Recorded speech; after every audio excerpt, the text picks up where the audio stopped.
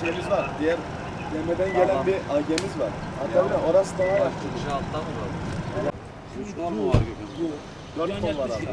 Sen bunu bir jeneratör gemezsin. Dört kol var ama şöyle... Hadi gülüyor. Vallahi.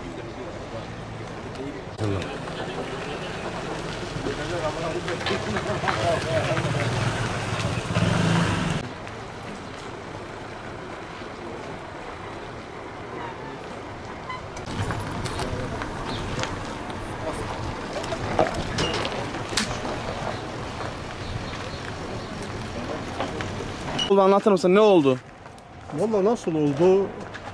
Dün akşam o bir taraftan yarısını hemen hemen kestiler. Bina o tarafa meyil verdi. Geldik sabahleyin e, asansör yuvasını kırmaya başladılar. Kırdı, kırdı, kırdı. E, tabii ki aşağıya inmedi. Kırdıktan sonra bu tarafa çekti. Nasıl oldu peki?